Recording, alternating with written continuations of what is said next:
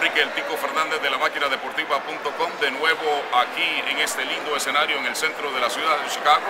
En este caso me encuentro con un costarricense, Norman White, que ya en otras ocasiones hemos incursionado en lo que es la televisión y los medios de comunicación, principalmente la radio.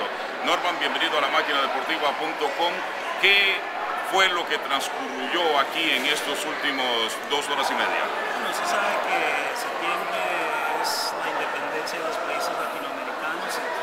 Los años el alcalde de la ciudad de Chicago uh, hace una recepción en honor a todos los países centroamericanos.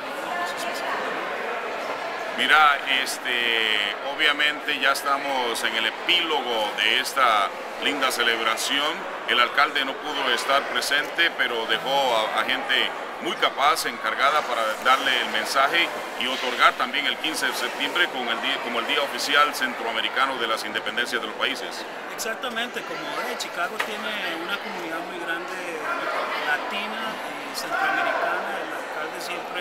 se preocupa de que todas sean incluidas en, en los eventos y en los espectáculos de la ciudad, porque todos somos parte de, de la ciudad y, y esta ciudad ha sido fundada por. Nosotros somos inmigrantes. Norman, el, el, domingo se avecina el desfile, un gran desfile que cada año que pasa se, se torna más grande en lo que es participación y volumen del mismo.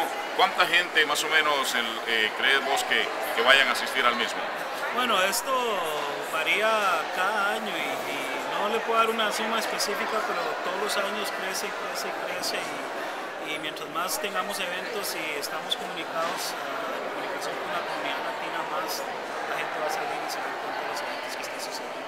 Gracias Norman, te deseamos lo mejor, un saludazo para ti y gracias por atender el llamado de la máquina deportiva.com. Bueno, gracias a ustedes viva Centroamérica. Claro que sí, gracias.